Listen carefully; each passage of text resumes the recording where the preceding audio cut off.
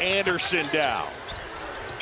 Fade away. Thompson misses everything. Will that count?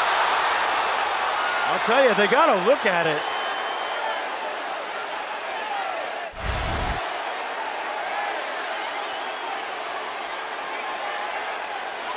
It's a shot clock anyway, John.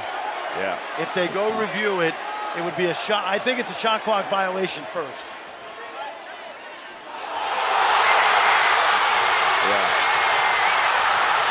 So now they're celebrating. Nope. They're going to go look at it first. It's going to go to point seven. Roger. Ayers. It, this is a good crew. I mean, it's a. Let's watch now. It's not the game clock. The ball is in Isaac Likekele's hands as it gets to zero. Okay? All right, now we got point seven, which remember.